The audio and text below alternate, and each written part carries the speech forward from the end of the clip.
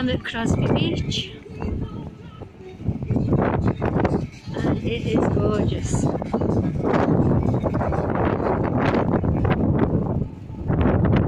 It's a bit windy, um, so I don't know if you can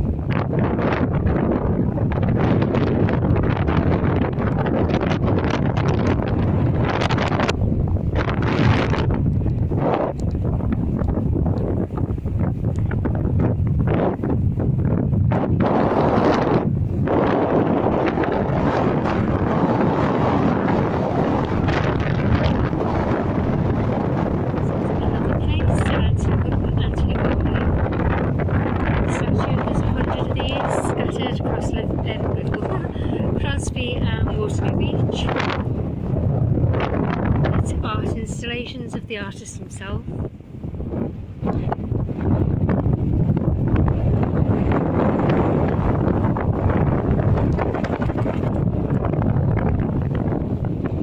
So now, before saying that Crosby Beach has been voted um, one of the UK's best beaches, and that's Crosby Beach and I'm heading towards Waterloo.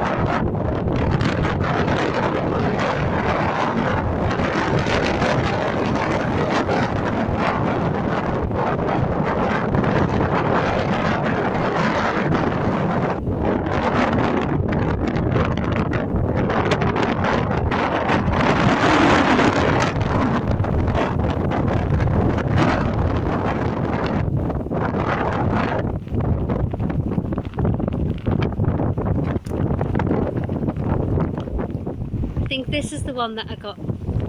Photograph I and it was in the, um, the paper wasn't it?